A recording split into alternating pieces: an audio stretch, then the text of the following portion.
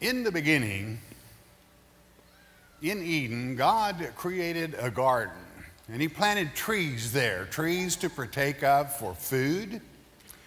And He also placed therein, first, the tree of life and then the tree of the good and, and evil, the knowledge, with the knowledge of good and evil.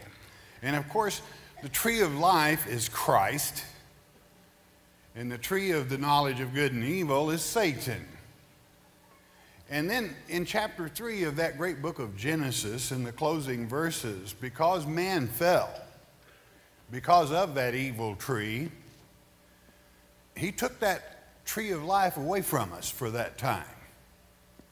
And he placed cherubims at the gate with swords so that they would prepare the way and protect the way. You know what a way is? That's a path, that's a way of life. So that man could not at that time partake of that tree of life. It was for that reason that when Christ was yet in the tomb, he went all the way back to that time. As it is written in 1 Peter chapter 3 verse 19, to give those people an opportunity to partake of that tree of life and to share in it. And then we find out, in as much as it was taken away in the uh, great book of uh, Genesis, that in Revelation chapter 22, we read in verse 1. Revelation chapter 22 in verse 1. We are now come with me, we are now in the eternity. Those that overcome, that overcame, are there, and those that didn't are long gone. They're blotted out. Uh, in my own personal belief, if you had a friend that was blotted out, you would forget they ever existed. You would shed no tears for them, for they wouldn't be. Okay, even your memories of them, gone. Uh, and this is the life you have. Chapter 22, verse 1. And he showed me a pure river of water of life, clear as crystal. What, what, was that water for? Life, eternal life. Proceeding out of the throne of God and of the Lamb, that Spirit flowed forth freely. In the midst of the street of it, and on either, either side of the river, was there the tree of life, which bare twelve manner of fruits and yielded her fruit every month and the leaves of the tree were for the healing of the nations. There could be no boredom, there could be no anger, because that tree of life does exactly that.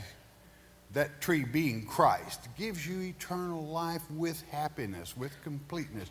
When you partake of those leaves, spiritually speaking, now come with me. No flesh in this. Then there can be no boredom. There can be no unhappiness those that would create unhappiness are long gone.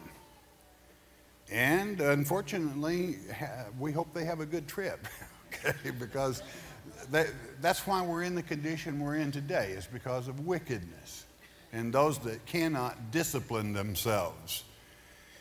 Um, and there shall be no more curse but the throne of God and the Lamb shall be in it, and his servant shall serve him. That's what they're for. And they will do it gladly and without a whimper. They will consider it indeed a pleasure, just as you consider it a pleasure today to serve him. And they shall see his face, and his name shall be in their foreheads. That's that seal again in your forehead. Don't waste your life without having that seal now. It's this word, it's His word of truth. It is the events that He has foretold you of, warned you, so that you cannot be surprised. Surprise is what, the unknown is what man fears. So, in ignorance is, brings forth the unknown because you haven't studied. And when you're familiar with this simplicity, it isn't complicated, that flows in the Word of God, that truth, that seal then you find that happiness, you find that tree. And, um, and inasmuch as you see his face, you're in the same dimension that he is. You can't see his face today. Do you know why? You're not in that dimension. And he's not in yours unless he chooses to be. And there shall be no night there, and there and they need no candle, neither light of the sun, for the Lord God giveth them light, and they shall reign forever and ever. And he said unto them, These sayings are faithful and true, and the Lord God of the holy prophets sent his angel to show unto his servant the things which shortly should shortly must shortly be done. That's why you need to know it, what's going to shortly come to pass, because we're in that generation where indeed all these prophecies in this generation of the fig tree shall be fulfilled. They're going to come to pass as they are written. So, therefore, that's why you want to read. That's why you want to understand. How did the tree of life make it possible that in the great book of Genesis, that tree would be taken away from us, and yet in the great book of Revelation, it is restored? And it is restored for some that believed long before that. And it began when he paid the price. It was, it was an awesome price. As they delivered him up, the flock scattered. Only the women stayed on a small hill off away. The, the disciple he loved, John, he didn't, run, he didn't run. He stood by, and Jesus told him, Take my mama home. Take Mary home. John did. He was alone. And he cried those words on the cross, Eli, Eli, lama sabachthani, which is to say, My God, my God, why hast thou forsaken me? And fear goes through the hearts of many people in ignorance when they don't realize that even in this, He is teaching you, He is placing that seal because He's teaching the 22nd Psalm, which is the only message that we can give on this day of Passover. For it foretold a thousand years, Behold, I have foretold you all things. And he told us on that cross through, My God, my God, why hast thou forsaken me? As you know, Jesus never called uh, our Father God, he always called him Father, okay, in whatever language. Ab, Ab, um, and um, uh, calling him Father.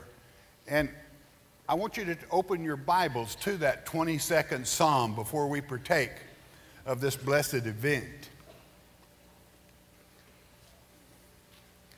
This is the price that he had to pay. Because you're not perfect.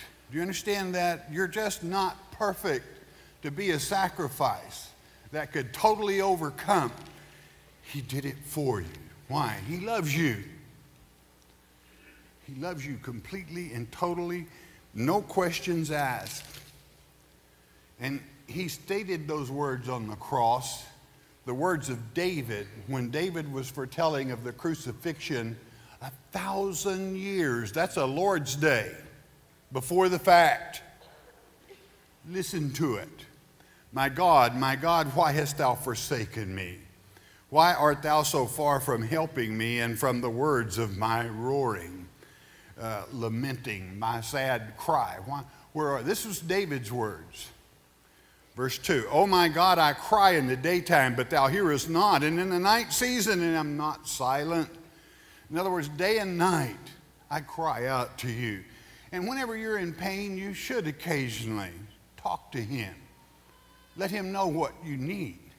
Communicate, communicate, communicate. If a man and a woman uh, in a marriage have trouble, the way they solve their problems is to communicate. Well, what do you think is the difference with our Heavenly Father? You solve your problems with Him and you receive His help by communicating. That's prayer. So communicate with Him. But thou art holy. O thou that inhabitest the praises of Israel, our fathers trusted in thee. They trusted, and thou didst deliver them. He always does deliver. God is a provider.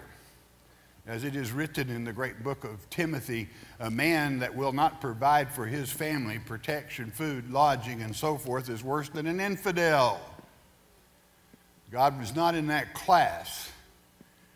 When you obey and when you follow Him, He will protect you, He will provide for you. Why? You're His child. He's the nearest relative that you have, and He paid this price for you. It's an humbling, an humbling thought when we realize that they delivered him up. They tried him, he who was perfect, had never sinned. He opened not his mouth, he did not whimper. And he stood there in your place, in your stead. They cried unto thee and, and were delivered. They trusted in thee and were not confounded. You'll never be confused, basically, when you're familiar with our Father and his teachings. I am a worm, and no man approach a reproach of men and despised of the people. That's the way they treated him. They did David with Saul chasing him and Christ when he was on the cross. They deserted him. You're not going to do it in the end times.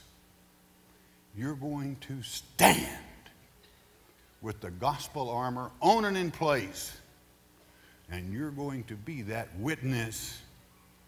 We shall not leave him. He has promised that he shall not leave us. I will never leave thee nor forsake thee.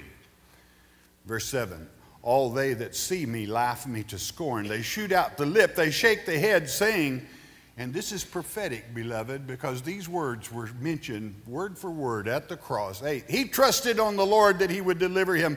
Let him deliver him, seeing he delighteth in him.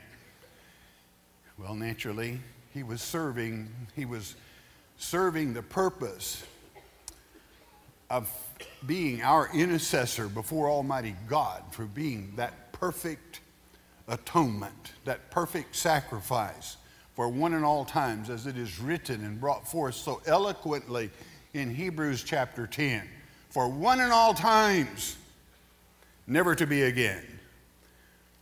Verse, and this word did not come from a Christian, a follower, it came from the high priest and others. But thou art he that took me out of the womb, thou didst make me hope when I was up on my mother's breast, when I was a child, you led me. I was cast upon thee from the womb. Thou art my God from my mother's belly. God, when people are destined, and naturally Christ was, and this is looking forward to him, his destiny was fulfilled from the beginning. We know his travels from a child on upward.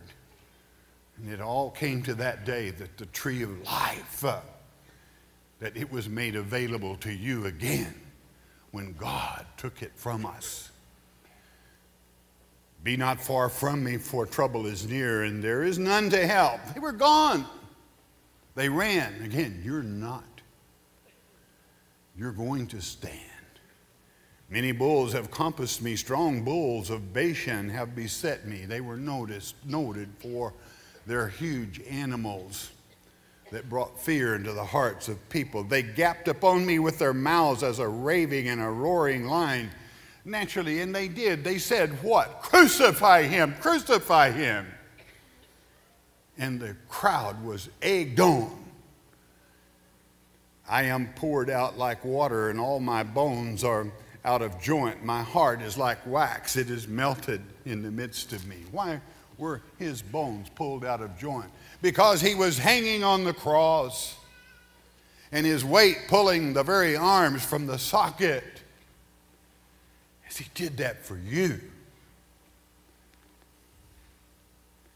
This being written a thousand years before the fact, can you better understand why he would say, Eli, Eli, lama sabachthani, that day? He's saying, go back and look. This is what I'm doing for you at this moment.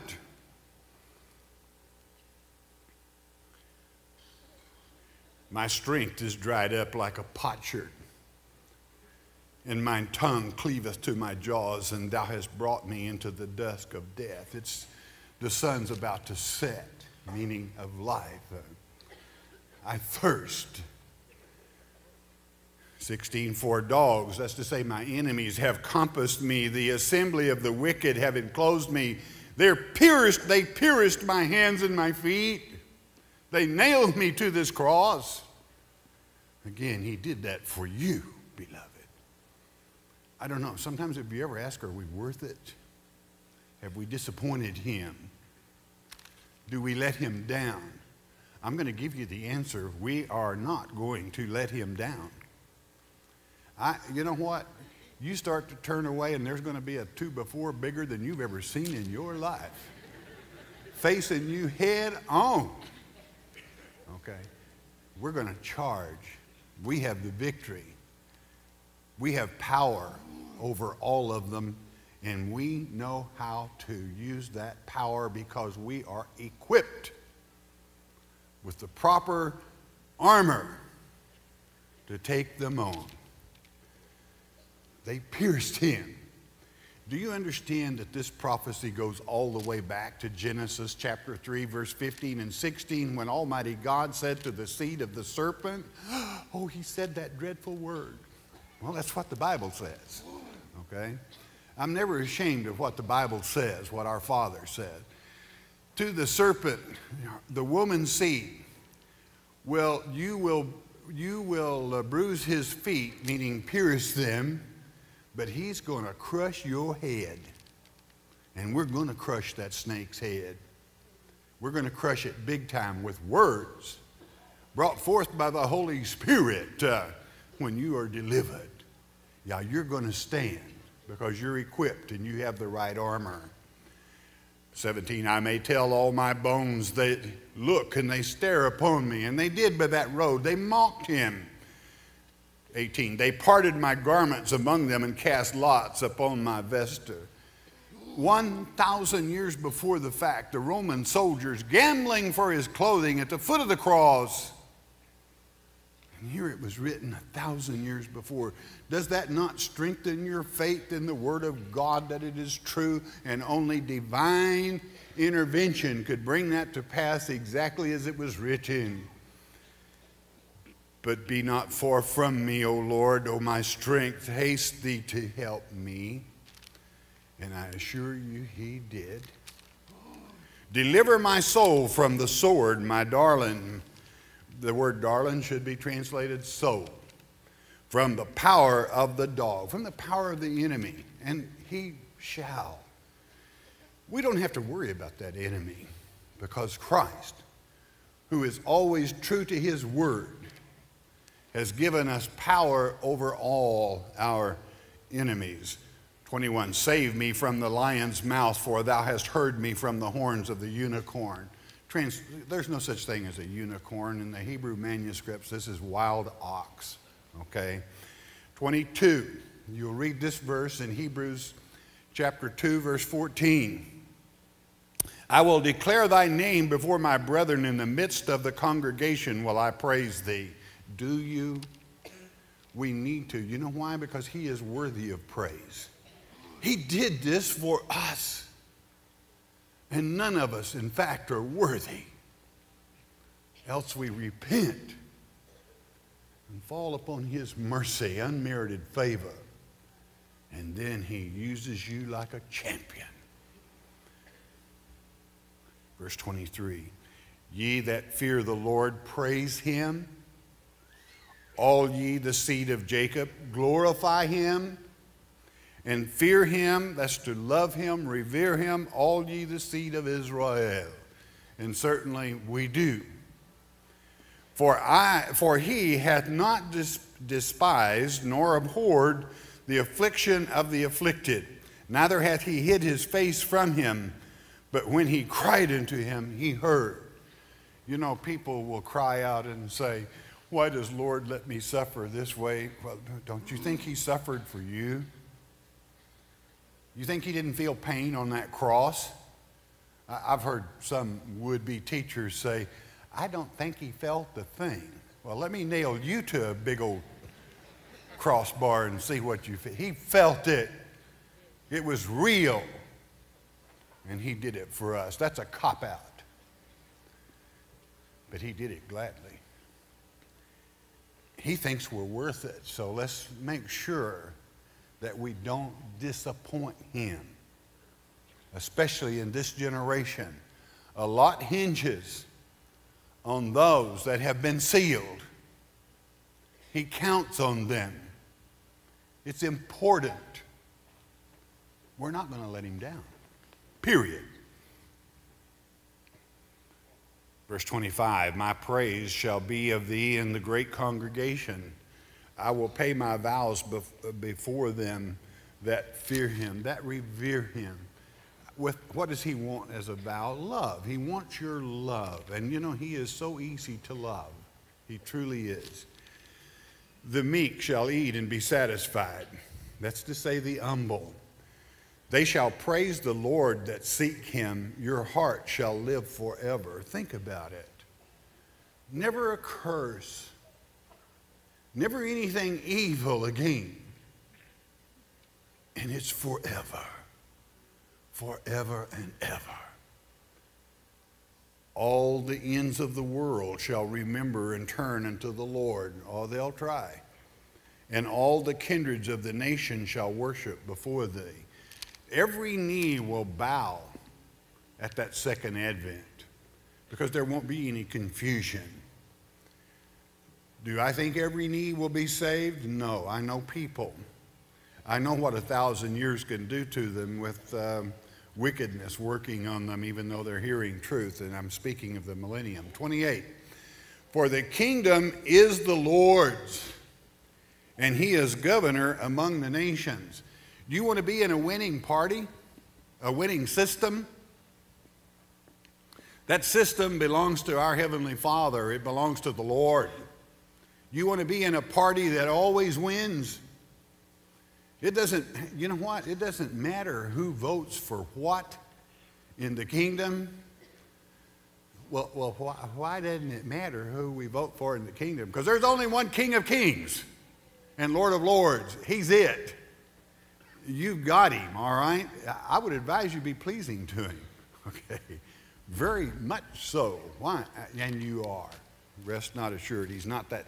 As long as you love him, he is pleased, all right? 29 All they that be fat upon earth shall eat and worship. All they that go down to the dust shall bow before him, and none can keep alive his own soul. You know, this is one of the things that brings God down is when man tries to provide eternal life for his own soul. Do you understand that? There are two things that'll bring him down. The, the first lecture we covered is one of them Sodom and Gomorrah brought him down. But also, he was brought down in Genesis chapter 11, 10 and 11 when the Tower of Babel was built. Why did they build that thing? They, were, they didn't want to be a flood to drown them. They were building them a way to heaven. They were creating their own salvation. You can't do it. This is why these people that are hankying around with cloning, I would have cloned myself where I live forever. Well, why don't you just love the Lord and live forever? Okay, you know. Why would the world want to see another one like you? Whoa. Mercy, mercy. Lord does have mercy on us, okay? But these things bring God down, and people better, hey, they better wake up to it. God is, vengeance belongeth to him, and he knows when and how to take it. And he's going to take care of his own. He truly is. But nobody, they're going to find out that nobody can work out their own salvation, buy it, sell it, plan it, well, you don't understand, brother. I am very deep into science. You're very deep into a six foot hole, buddy. I mean, that's nothing against science. Science is beautiful, but it can't give you eternal life. That's what I'm saying. Uh, okay, uh, verse 28 For the kingdom is the Lord's, and he is the governor among all nations. He's it. All right? And um, I guess 27 all the, no, we got that. Okay, 29, 30. Okay. Do you know what? He was thinking of you right here. Do you understand that? Even a thousand years before the cross, and then he was thinking of you during the cross again, and I'll explain in a moment. A seed shall serve him, it shall be accounted to him, to the Lord, for a generation. You know what generation that is? It's the generation of the fig tree. They shall come and shall declare his righteousness unto a people that shall be born. He hath done this. Do you know what this word is the equivalent of to John chapter 19, verse 30? It is finished. And he gave up the ghost, the Holy Spirit. And he, his flesh passed on that cross. But to be resurrected again in that three day period into the night after the third day. And he brought eternal life. He made that tree available not only not only to the children of Israel, but to all who would believe upon him. When he thought of you on that day of the crucifixion, when he was carrying that cross up that path, and the daughters of Jerusalem were standing by that path weeping. And he said, Daughters of Jerusalem, I'm quoting from Luke 23, weep not for me, but weep for yourselves for the, if they will, uh, for the day shall come when they will say, Blessed are the barren. Barren in what way? Barren from not having hopped in the sack with the Antichrist, the false Christ, taking part in a fake wedding, but waiting for him. And then he said, If they will do this in a green tree, you see, he is that tree, you understand. If they, that means while the blood is running in these veins, what do you think they're going to do to the spirit, the spiritual tree? They're going to abuse it also. He knew they would. So he was saying, Weep for yourself, else you be in this house or under the shade in the fruit of that tree that grants us eternal life. Have you ever wondered about the burning bush? God is a consuming fire. He did not harm the tree. And as it is written, do you know what he considers you spiritually? Spiritually, even he considers you in Isaiah chapter 61, verse 3. He said, You're my planting. You are my trees of righteousness. Why? Because you partake of that tree of life freely, because you partake of Christ.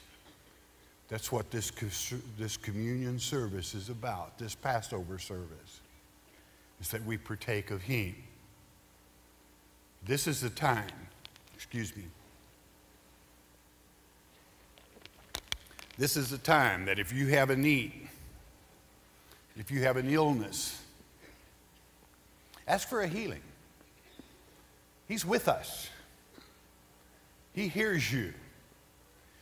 He loves you. He does, and He has proved it. He has proved it the hard way by dying for you on the cross, opening up. And as we partake of this bread, it's His body. His body took the stripes, but your body gets the healing. It's real, my friend. Ask for it. Ask and receive.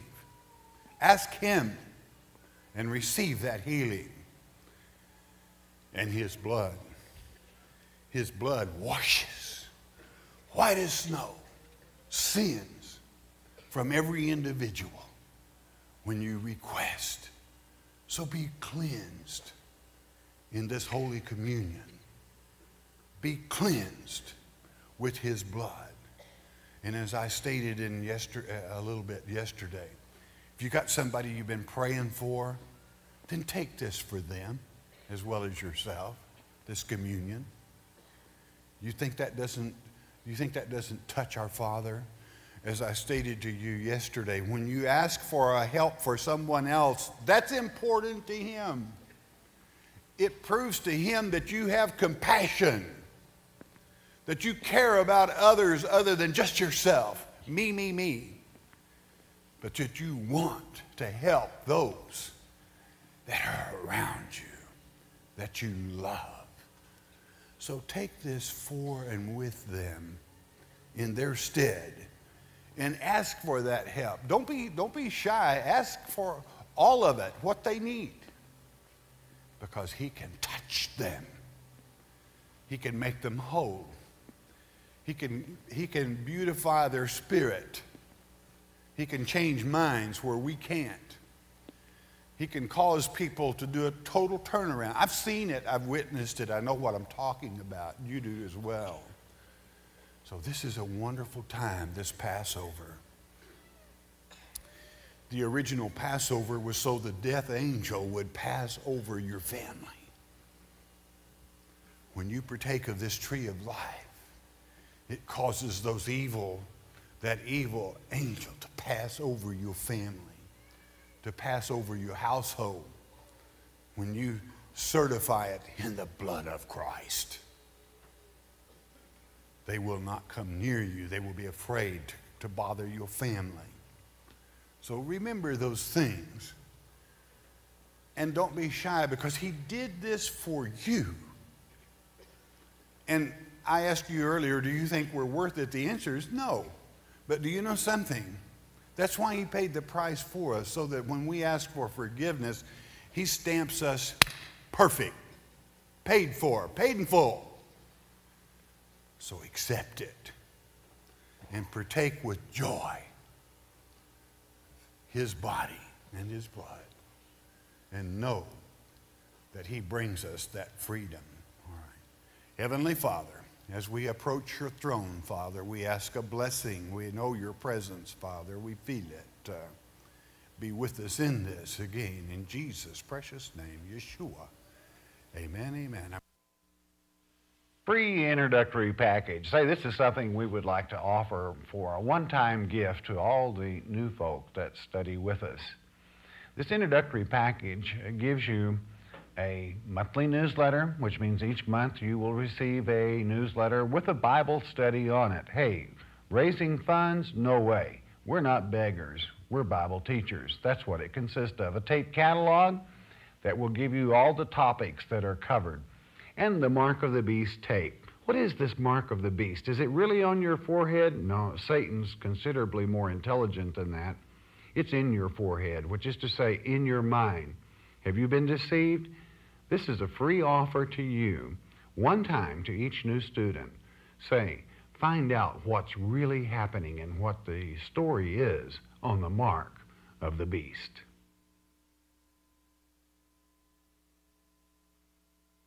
The book of Deuteronomy.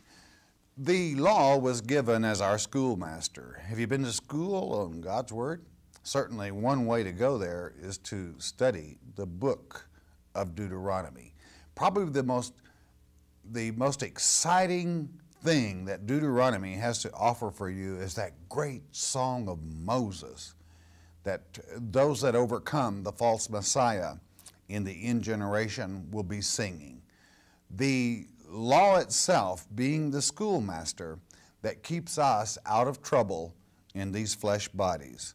Again, an education in taming that part of you that oftentimes needs taming through the old schoolmaster, that great book, Deuteronomy, the law, and its set ways of keeping you from harm's way even in this generation. You're going to enjoy it.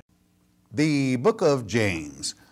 James is a book that I know you'll enjoy because it is written when you rightly divide it to those that are scattered abroad. That's to say, the 12 tribes, the 10 tribes scattered abroad, being very specific in your freedom of Christianity, the repentance, uh, giving much personal instruction as far as controlling our thoughts and finding peace, and giving us those parameters wherein Christianity uh, defining those things that come from the Word of God. Example that uh, bitter and sweet water cannot come from the same spring. Well, from God's Word, you should not have both either. And there we are back again. Let's have the 800 number 1 800 643 4645. That number is good from Puerto Rico, throughout the U.S., Alaska, Hawaii, hey, all over Canada, Newfoundland. The Spirit moves. You got a question? Share it. Won't you do that? Please never ask a question about a particular entity, reverend, religion, denomination, or organization. God is judge. We don't judge churches or people. Everyone is uh, a mature person has the right to make their own mind up. That's one of the great beauties of this great nation of freedoms. And uh, what you do with it is your business. And uh, it is, I would only say, it's so wonderful to have God's blessings. Let's let Him be judge, though. Let's don't judge people. Let God be the judge, for He knows even what people are thinking. Those of you that listen by shortwave around the world at this time, it's always a pleasure hearing from you. Your announcer at the end of the hour will give you our mailing address. You got a prayer request, you don't need the number, you don't need an address. You just need to talk to Him, communicate. Let Him know you love Him. And then, if you have needs, let Him know, tell Him. He knows how to help the righteous. I said, he knows how to help the righteous. I did not say he knows how to help the wicked. He's got a little other thing other than help for the wicked. Think about it. Father, around the globe, we come, we ask that you lead, guide, direct, Father. Touch in Yeshua's precious name. Thank you, Father. Okay, question time. John from Minnesota. And we got uh, the Bible says not to eat the blood of animals. How do you know the reason for this? Well, it, I'm a farm boy, okay? We, we, uh, you didn't, when I was a child, we didn't have a butcher shop on the corner. We had to butcher our own animals, okay? And if you do not bleed an animal when you butcher it, the flesh will putrefy. It's not fit to eat. You have to know how to bleed an animal. And um, uh, I, I, don't want to go into details on it. I've done it myself, okay? It bled animals. I'm, I'm good at it, all right? I'm, that's, that used to be one of my jobs. And, and I could hit the heart every time, you know? Just give me a knife long enough, and, and that does a good job of bleeding. It, it preserves the meat, and it's not a good subject, but that, that, that was life. That's the way we had to live, all right? You just didn't go down, we didn't have these markets on every corner where you went down and bought some lamb chops or something else. Um, you, you, even sausage, you, sometimes you had to can when you butchered because they wouldn't keep, all right? So anyway, that's, that's the reason. It wouldn't keep. It has nothing to do with human blood or blood transfusions or anything else. It doesn't, it, what it means is, is don't eat a choked chicken, all right? Uh, I'll let that suffice. Cheryl from Arkansas, what generation are we in now? I know it is the generation of the fig tree, but is it the 14th generation? It's the last generation, okay? Wayne from New York, what you'll find in the last verse of Psalms uh, 22 that God says it is the generation. Wayne from New York. Where did the word Yahweh come from, and how come it's not in the Bible anymore? Well, it's, it's still very much in the Bible. It's in the manuscripts. It is Hebrew, and you have to have a Hebrew Bible before you're going to read it. I can, I, hey, I can give you a pretty good clue. Anytime, example in the Old Testament, where you see L O R D all in uppercase, you got it? Every letter is capitalized. Then usually if you will go with your Strong's Concordance, you will find that that is the sacred name Yahweh. Um, there could be other uh, times that uh, God's name would be El Shaddai. And El Shaddai is when is a name for our Father. Um, Jerish, uh, Yahweh Jireh is the God that provides. Um, he has a lot of names, but usually there, sometimes some of them have a title uh, affixed to it as to what he does. But um, it's, it is mentioned many times in the Word. El Shaddai is a name of protection because it has to do with the female breast and womb, which means to nourish, and the womb is supposed to be the safest place in the world. I guess it's not that way anymore, but anyway, that's it's it's there, but it's it's it's a language thing, okay? It's his name in, in the Hebrew tongue. I'm writing about your explanation of the Kenites. My strong says they are of the Canaanite tribe or taken to Midianite, son of Abram. I don't find where Cain comes into it. Please explain further. I think that some buy some strongs uh, that you get in some places the computer jumped or something on some people. Uh, I want you to make a note in the Hebrew dictionary, in your Strong's Concordance. I want you to make a note of 7014. 7014 is Cain's name. 7017 is Cain's offspring, Kenites. I'm going to say it one more time for you 7014 Cain, 7017 Cain's children. And it will explain in the Hebrew, um, by the Hebrew name, that there has nothing to do with Canaanites but Kenites. Stephen from Minnesota, would you, would you explain the Millennium Temple? Do you know when it will be built? It's being built right now. It's made up of the many, many membered body of Christ. And when you bring a solid citizen in as one of God's elect, they make up that temple. Christ is that temple, all right? And um, and he's going to reign for a thousand years, and some of us are going to reign with him. that means teach. Because we don't want to lose one soul if we can help it, but we're going to lose lots of them. Because some people would rather go with Satan into a lake of fire and destruction rather than to discipline themselves in wisdom. Strange. Zacchaeus from New Mexico, three years old. How about that? Where is heaven? Heaven is wherever God is, okay? And that's just the way it is. Someday, son, he's going to be right here on earth. And that's where heaven's going to be, is right here on earth.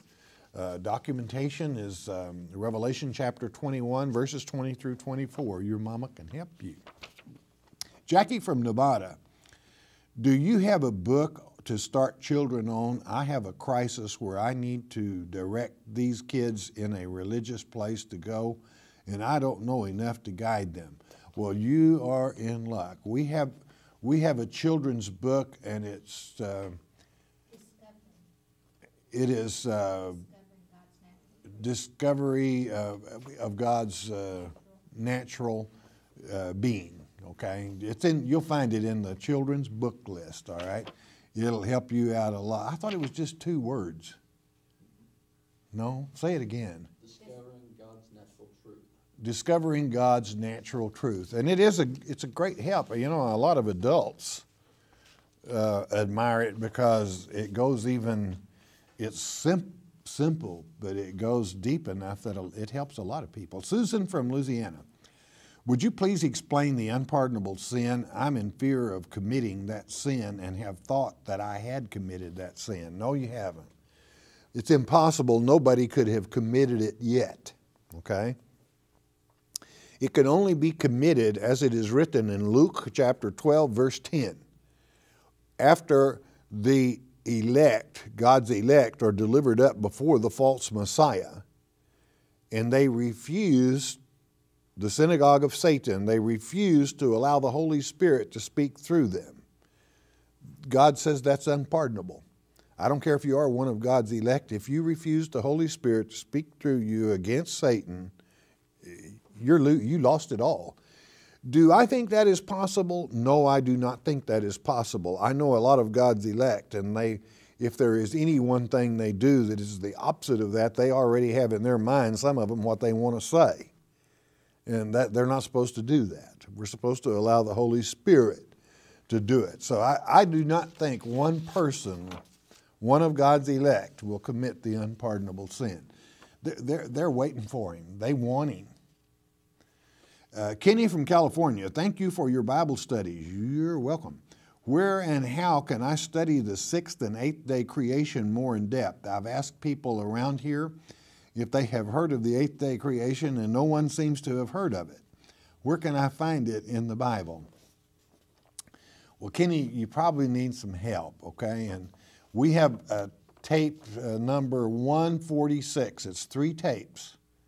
And if you call, they will help you. It will take you through the first six chapters, basically, of Genesis. And if you can't read the Hebrew manuscripts, you need help, all right? And, um, and it, it will help you out. It's, it's about six hours of teaching, so I, I can't do it in one question.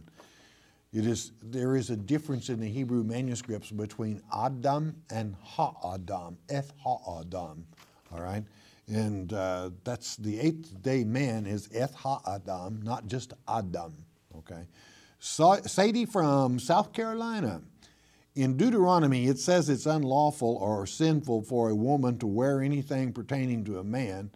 And a lot of people say it's a sin for a woman to wear pants. I wanted to get your answer on this. I, I get this question quite a bit. Deuteronomy chapter 22, verse 5. I'm going to tell you something. Men wore skirts then. They did. So you don't, don't let them pull that old pants thing on you. It says in the same verse, men should not put on women's clothing. You got a lot of these dudes anymore that like to dress up. Ugh, sickening, yuck.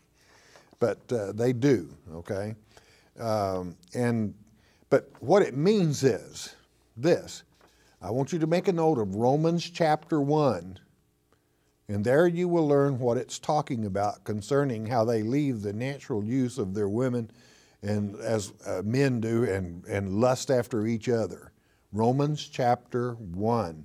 It means a woman should not take the place of a man in a sexual act, or a man should not take a woman's place in the act of a sexual act. Okay, Christy from Illinois. Was Judas born destined to betray Jesus and go to hell? No. Why, Christy, why are you judging Judas to hell anyway? I mean, that's kind of God's business you know, uh, Christy, he repented. And when it came to his time of hanging, as it's written in Acts chapter 1, verse 18, he had a lot of help because somebody hung him and then cut him open from his uh, jugular all the way down to his navel, and his insides poured out on the ground. Uh, that's quite a way to commit suicide. He didn't commit suicide, but he did repent. And um, uh, Judas wasn't as bad as some people make him to be. He betrayed Christ, yes, and that's bad. But um, uh, he wanted to bring in the kingdom, basically, so he could carry the money bag for the whole world. He kind of liked that money bag. Paul from South Carolina. Should preachers or pastors get into politics and run for office, such as county offices or senators, should they do both, preach and hold an office. Does the Bible say anything about this? Well, the Bible says something about it. The priests were the government in the Old Testament, okay? That was the storehouse, it's where the taxes, tithes went in, took care of people and so forth, Social Security, everything went through the church.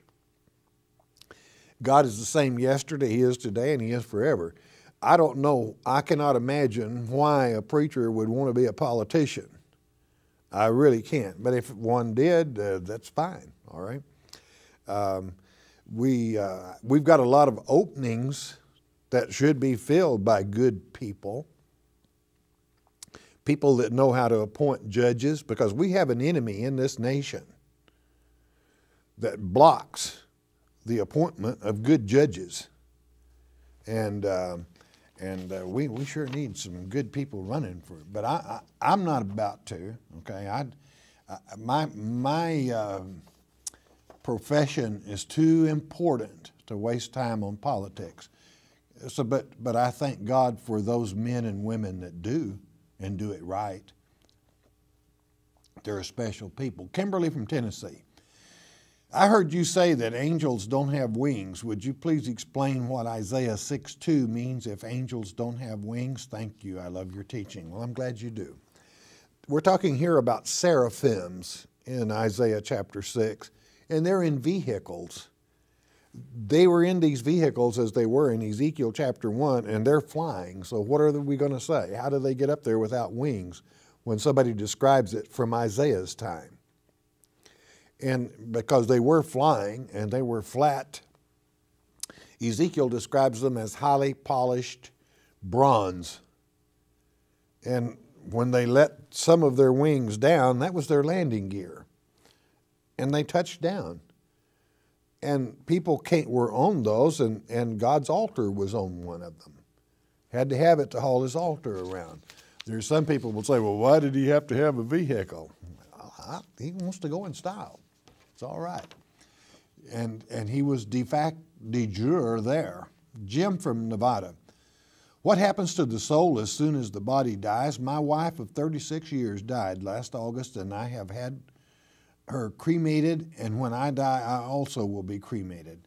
Well, that, that, that's fine. Ezekiel chapter uh, 12, verses 6 and 7 to be absent, I mean, you're instantly, when this flesh body dies, the spirit, which is the intellect of your soul, meaning your soul, instantly returns to the Father. And you've got a, a new spiritual body.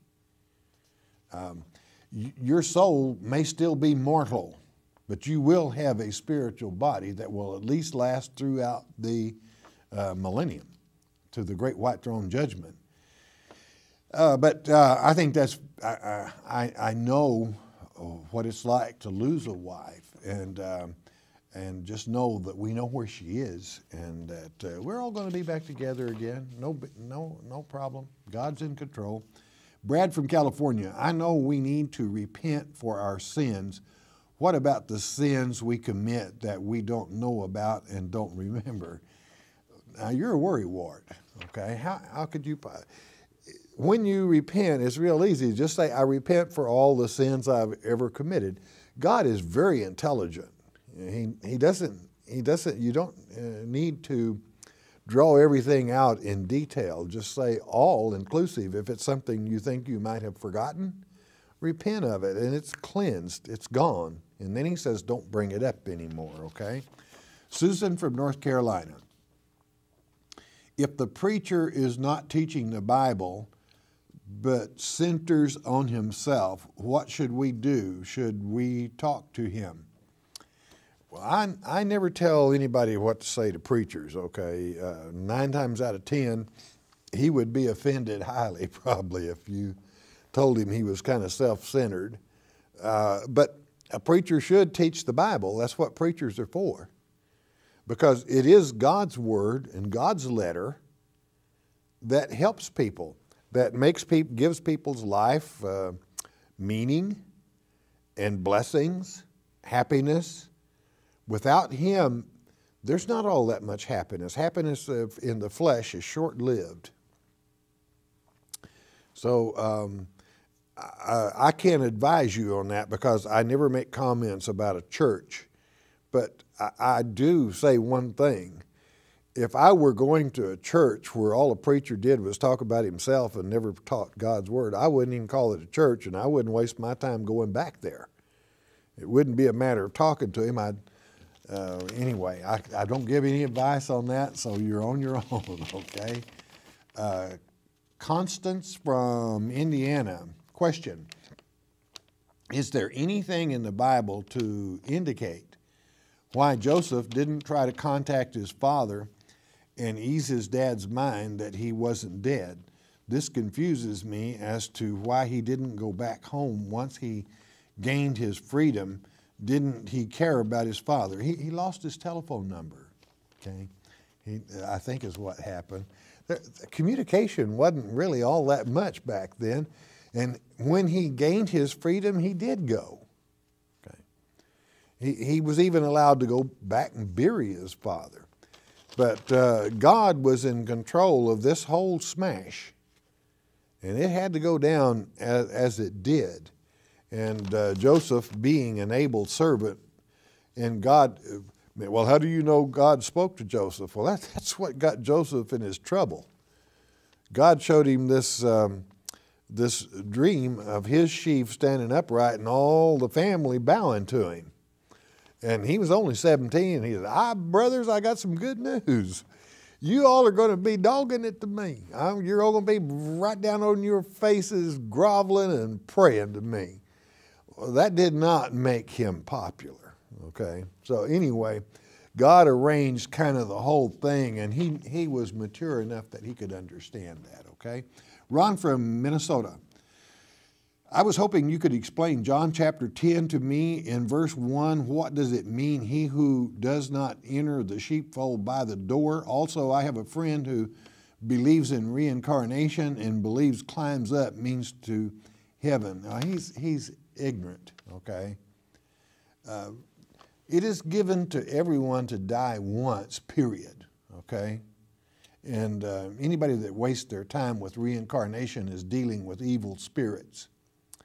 Well, he can remember having been in Spain 400 years ago. Uh uh-uh, uh he can't. The demon that possesses him remembers 400 years ago in Spain, all right? Um, well, it's real simple. What does it mean? Uh, you know, uh, do you know anything about taking care of sheep? You ever been a shepherd? What do you do when you put them down in, in the sheep cot?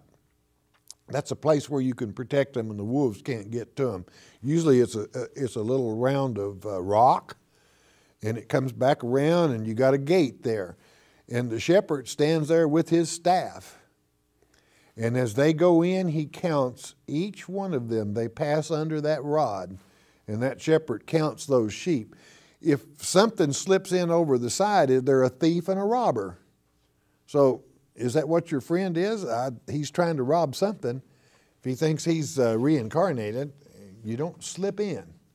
You got to do it under the staff of Jesus Christ. I'm out of time. Hey, I love you all a lot. You know why? Because you enjoy studying our Father's Word in depth. Most important, God loves you for it. It makes His day. And when you make His day, He's going to make yours. We are brought to you by your tithes and offerings. If we've helped you, you help us keep coming to you. Once you do that, bless God, He will always bless you. Most important, though, I want you to stay in His Word. You know something? Every day in His Word, even if it's a bad day, it's a good day because Jesus Christ, our Lord and Savior, is the living Word. Hearing God's Word with understanding will change your life. We hope you have enjoyed studying God's Word here on the Shepherd's Chapel Family Bible Study Hour with Pastor Arnold Murray. If you would like to receive more information concerning Shepherd's Chapel, you may request our free introductory offer. Our introductory offer contains the Mark of the Beast audio tape, our monthly newsletter with a written Bible study, a tape catalog and a list of written reference works available through Shepherd's Chapel. To request our free introductory offer by telephone, call 800 643 4645 24 hours a day. You may also request our introductory offer by writing to Shepherd's Chapel, Post Office Box 416, Gravette, Arkansas 72736. Once again, that's Shepherd's Chapel, Post Office Box 416, Gravette, Arkansas 72736. We invite you to join us for the next in depth Bible study each weekday at this same time. Thank you for watching today's program, and God bless you.